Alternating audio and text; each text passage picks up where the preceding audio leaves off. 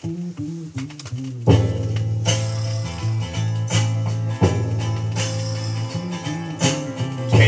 joins the hollow sound of silent people walking down the stairway to the subway in the shadows down below.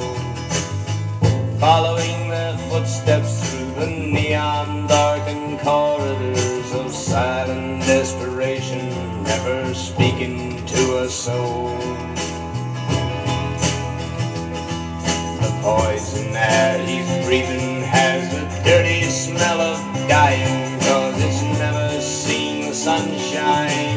never felt the rain.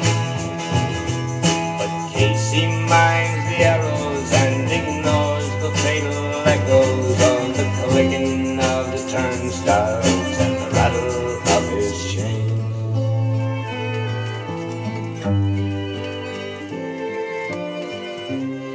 Oh, she said, Casey, it's been so long since I've seen you.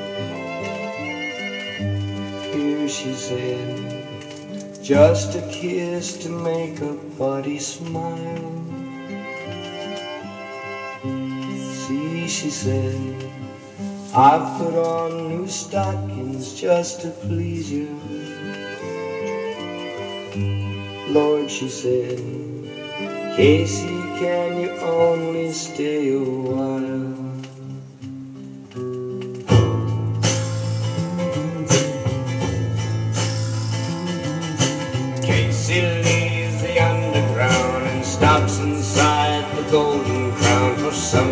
Wet to wipe away the chill that's on his bones.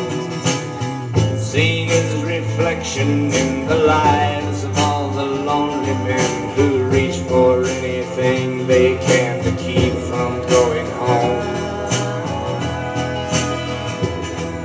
Standing in the corner Casey drinks his pint of bitter, never glancing in the mirror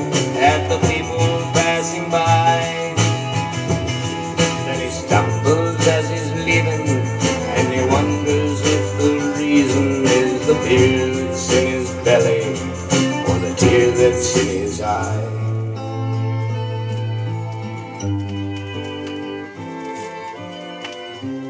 Oh, she said, I suppose you seldom think about me. Now she said, now that you've a family of your own. Still, she said, it's so blessed good to feel your body.